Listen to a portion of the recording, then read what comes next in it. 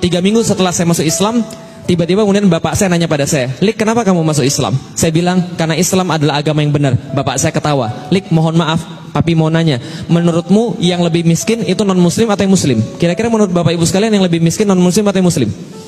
Muslim. Yang lebih banyak nggak sekolah non muslim atau yang muslim? Muslim. Yang lebih banyak nggak makan non muslim atau yang muslim? Yang hilang sandal di masjid muslim atau non muslim? Muslim. Kalau begitu di mana bagusnya Islam, Lik?